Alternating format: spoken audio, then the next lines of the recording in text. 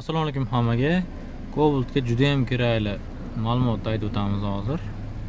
Cobaltda shunaqa funksiya bor ko'plar yuradi mana bakovoyda yomg'ir tomchilari turibdi. O'shani ketmaydi o'ylaydi lekin ichida spirali bo'ladi qizdiradigan bu funksiyani qanday yoqamiz? Juda ham foydali ma'lumot. Kanalimizga obuna bo'lib qo'yinglar. Bundoq foydali ma'lumotlarni berishga harakat qilamiz.